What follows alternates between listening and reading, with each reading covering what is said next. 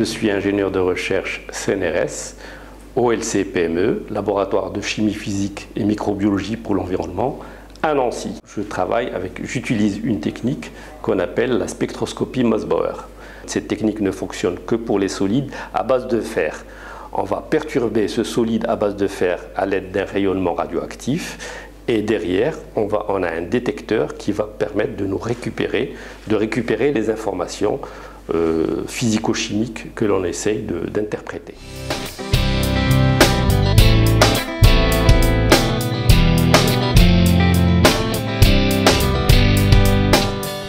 Mon arrivée dans le, milieu de la recherche, c'est quelque chose qui remonte déjà assez loin.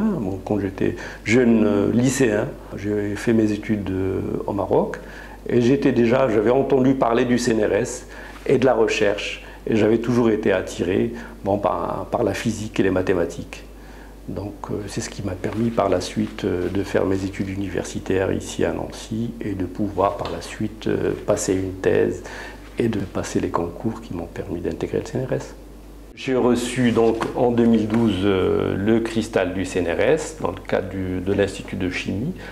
Cette récompense, euh, en fin de compte, est attribuée euh, annuellement euh, aux ingénieurs, techniciens administratifs qui travaillent au sein du CNRS et qui font avancer un petit peu le, système, soit par leurs travaux, par leurs recherches, etc.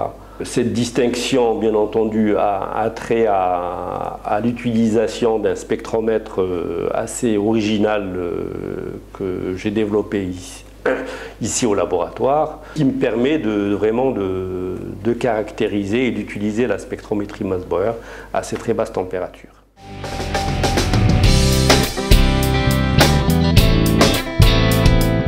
C'est un spectre Mosbauer à très basse température et qui est constitué par un ensemble de raies.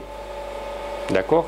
Quand on baisse la température, on va ordonner la matière et cet ordre va donner lieu magnétisme, l'ordre magnétique.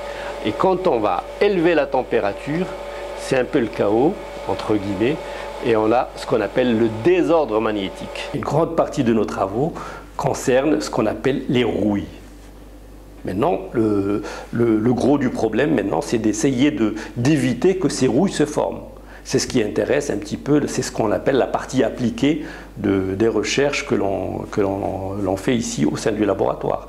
Actuellement, euh, nous travaillons sur un projet qu'on a démarré avec l'ANDRA, l'organisme qui, s'occupe de, l'enfouissement des, déchets radioactifs. Il s'agit de regarder euh, comment on pourrait s'altérer les, conteneurs en acier dans lesquels on mettrait les fûts, les déchets radioactifs, hein, c'est des fûts en, acier, qui pourraient avec le temps, euh, sur un certain nombre d'années, des, millions d'années, qui pourraient s'altérer en, euh, fonction du temps.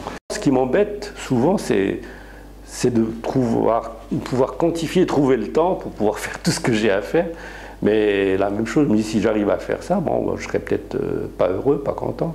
Donc le fait d'être toujours oui, d'avoir cette insatisfaction euh, au quotidien des fois. Et ça permet de... Moi, c'est mon moteur, quoi.